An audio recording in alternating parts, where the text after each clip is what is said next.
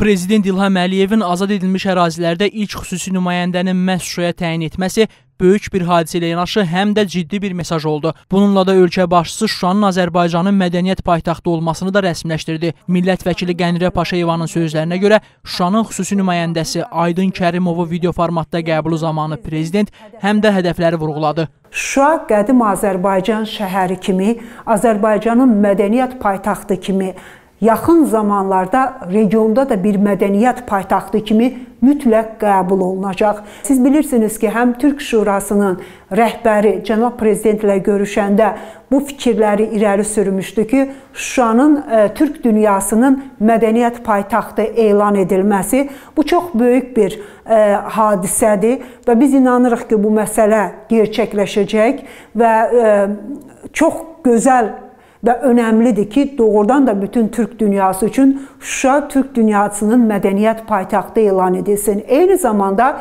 İSESK-nın baş katibi də cənab prezidentlə görüşəndə Şuşanın İslam dünyasının e, belə deyək, mədəniyyət paytaxtı kimi e, təsdiq olunması ilə bağlı məsələ qaldıracağını vurğulamışdı.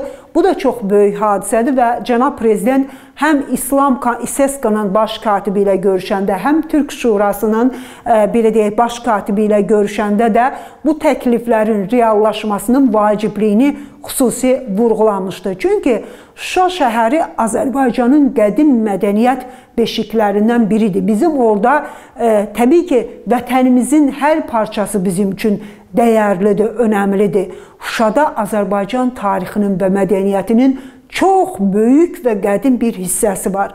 Bu tarixi və mədəniyyəti isə 30 ilə yaxın bir zamanda Ermənistanın saxtalaşdırmaq cəhdləri boşa çıxdı.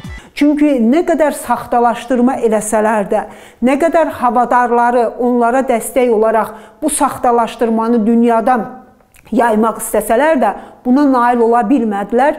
Çünki cənab prezidentin vurğuladığı kimi Şuşanı görən insan elə o dəqiqə bilirdi ki, bu Azərbaycan memarlığının, Azərbaycan mədəniyyətinin, Azərbaycan xalqının bir parçasıdır və cənab prezident nə demişdi? Şuşasız bizim zəfərimiz, qalibiyyətimiz yarımçıq qalar, işimiz yarımçıq qalar və cənab prezident Şuşanın işğaldan azad edilməsi və mədəniyyət paytaxtı statusunu verməklə e, bir daha bütün dünyaya göstərdi ki, Şuşa, Qarabağ Azərbaycanın, Azərbaycan tarixinin, mədəniyyətinin, xalqının bir parçasıdır. Şuşanın mədəniyyət paytaxtı kimi e, qısa zamanda yüksək səviyyədə e, bərpa edilməsi bu ən vacib məsələ kimi qarşıya qoyulub və cənab prezident öz ilk xüsusi nümayəndəsini Şuşaya təyin etməklə də bunu göstərdi ki, Şuşanın Şuşada görülən işlər